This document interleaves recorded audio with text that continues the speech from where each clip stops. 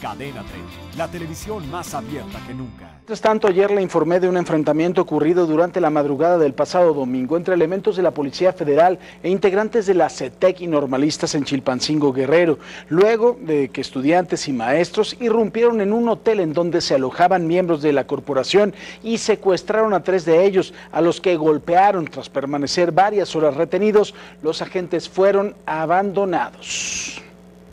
Este video que va a ver a continuación son las cámaras de vigilancia del hotel y muestra el momento en que los normalistas irrumpieron en el inmueble para sacar a golpes a un grupo de agentes federales. En las imágenes se observa algunos integrantes de la CETEC encapuchados y otros con el rostro cubierto agrediendo a los uniformados con palos e incluso uno de ellos con un tolete que le quitaron a los propios policías.